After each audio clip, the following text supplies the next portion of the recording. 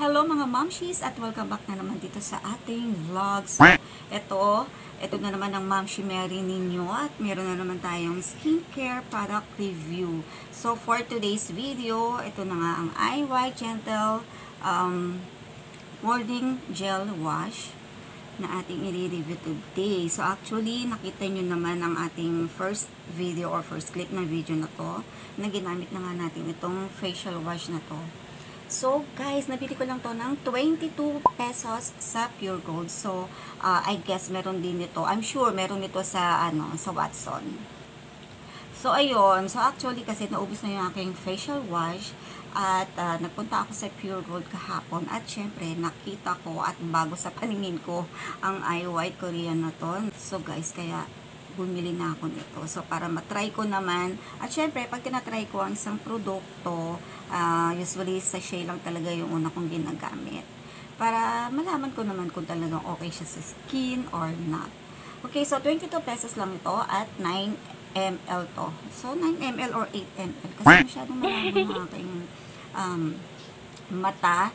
So, ayun. Kaya, babasahin ko muna sa inyo ang mga uh, benefits so, ng guys ang ating gagamitin today itong eye white gentle morning gel wash low pH. So ayan siya. So dermatologically tested hypoallergenic ito at para din sa mga sensitive skin. So gently cleanses uh, the skin without the drying feeling. So ayan.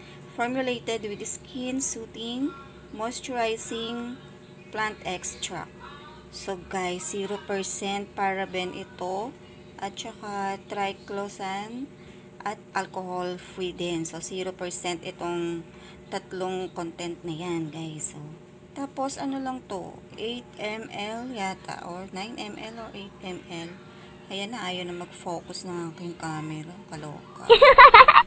So, ayun na nga. Ito, gagamitin natin ito. Super gentle lang to siguro kasi literal na nakalagay dyan. Gentle Morning Gel Wash at low pH siya. Ayan, nauutal na ako. So, low pH siya. So, it means talagang uh, ano to, hypoallergenic to tsaka para sa mga sensitive skin. So, ito naman yung kanyang um, sinasabi, no, ito yung kanyang kiniklaim. The IY Korea Gentle Morning Gel Wash is a mild low pH formula that cleanses your face without the drying and stripping feeling.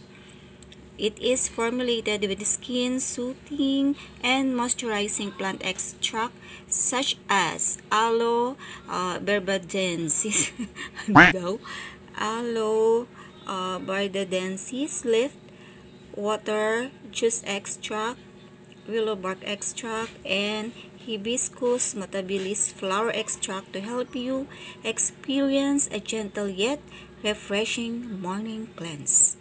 O, diba? So, ito na nga, low pH, moisturizing, mild and soothing. So, yun na nga, ang sabi ko kanina, dermatologically tested itong uh, skincare na to at hypoallergenic at super okay ito sa mga sensitive skin and I guess pwede ito sa lahat ng skin type. No? Ito pa yung mga nakalagay niya dito, guys. So, ito na naman ako. Struggle na naman ang aking pagbabasa pag ano, pag ano itong maliliit siya. So, guys, lagay ko na lang dyan sa screenshot yung mga uh, benefits nito or formula nito or ingredients. So, ito, expiration niya uh, 2023 pa. So, ayan, matagal-tagal siyang uh, ma-expired. At syempre, made in Korea. So, ang eye white Korean, syempre, kaya nga made in Korea siya. So, ito na guys, yung ating ah, Ginamit ko na siya kanina. At uh, naghilamos na ako nitong itong morning gel wash na to dahil umaga na. So, literal na ano talaga, no, morning. Okay, so ayan, so low pH yung product na to.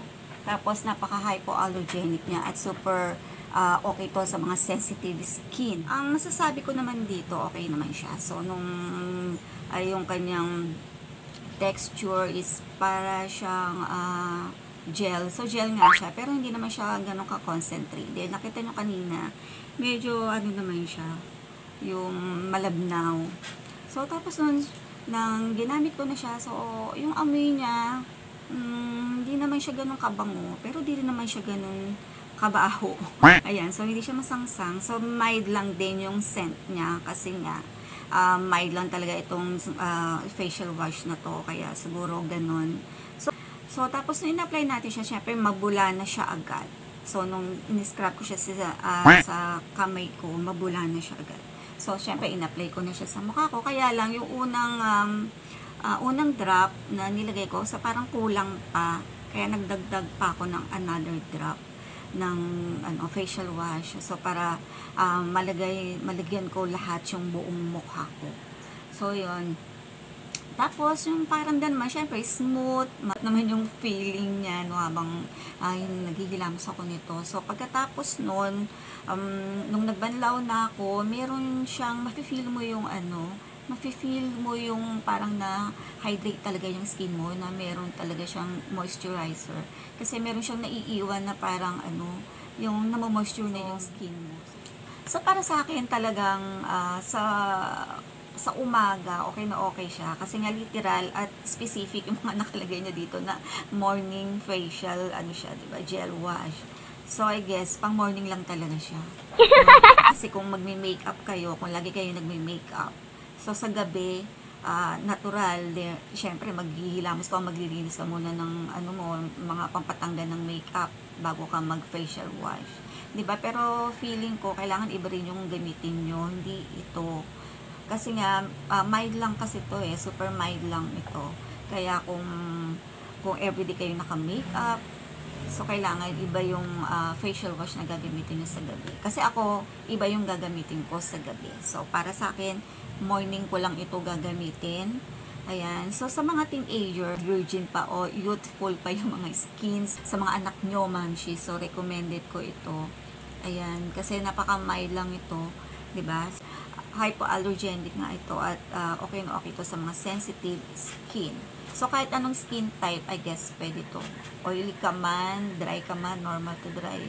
So, best siguro itong gamitin. So, ma'am, she, ayun lang. So, yun lang ang masasabi ko dito. So, nabasa naman natin. Binasa ko naman na sa inyo yung mga benefits nito at yung mga ingredients nitong um, skincare na to. So, para sa akin, okay na okay to. So, highly, highly recommended ko naman itong gamitin ng kahit sino. Feeling ko naman walang masamang mangyayari sa kutis mo o sa kutis ko pag ginamit natin ito. So, ito, sa shea lang ginamit ko. Siguro magagamit ko to ng mga ilang, ah, mga one week siguro. Kasi kung morning ko lang naman siya gagamitin, baka more than uh, one week itong sachet na to. Meron din sila nitong na tube na, um, syempre yung mas malaki nga, 199 pesos yung price nila.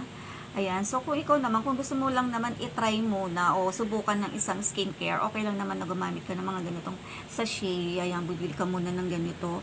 Kasi para naman hindi masayang, ba? Kasi kung bibili ka kaagad ng malaki, tapos hindi mo naman magugustuhan o may epekto sa skin mo, so kahit na anong product, kahit hindi ito, so kahit anong product, 'di ba? Yun lang naman, Ma'am Shi, ang ating video today. Ayan, nagbalik ang ating skincare dahil nga uh, naubusan ako ng ano eh, ng facial wash. Kaya yun. So, that's it for today's video. Kung bago ka naman dito, Ma'am Shi, sa ating vlog, so don't forget to like at share mo na rin kung pwede. At, syempre, wag mo kakalimutan na mag-subscribe dito sa channel na to at pakikita ang notification bell para naman updated ka sa mga video na i-upload ko pa.